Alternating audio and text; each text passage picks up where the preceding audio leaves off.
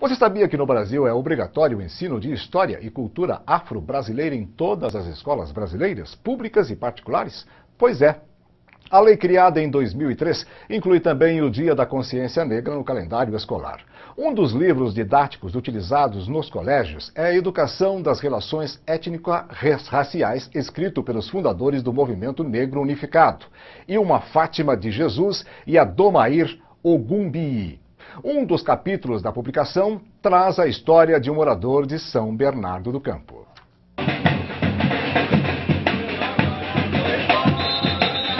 São 30 anos dançando congada em São Bernardo do Campo, na Grande São Paulo.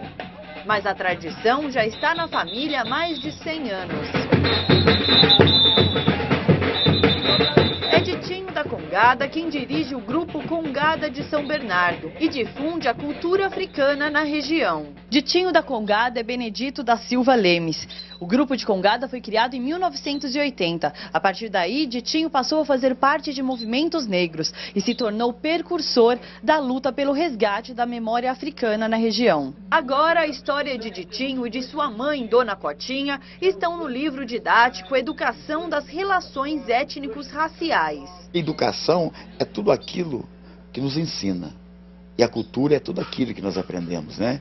Então, é, para nós é, é, gratificante. Mas mais, mais gratificante, mais é, ótimo para todos nós é sabermos né, o povo negro, nossas crianças, né, vão saber conhecer os seus heróis, né, saber que, que não, a coisa do escravo não foi somente tronco, né, que, que tem, uma, tem uma participação muito maior do que só na, na comida e na dança. Nós temos também uma participação o formato desse país, a cara desse Brasil.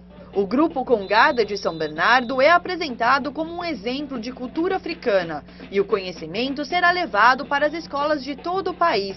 50 mil cópias já foram distribuídas. Qualquer país do mundo ele só torna potência, o povo só se torna potência, povo bom, assim, é, ver bem através da educação. Não tem outra saída.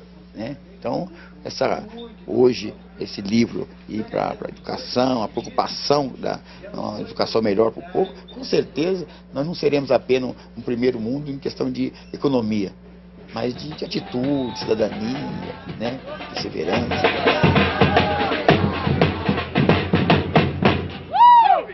Salve, Ceditinho. Muito parecido comigo. Parabéns, hein?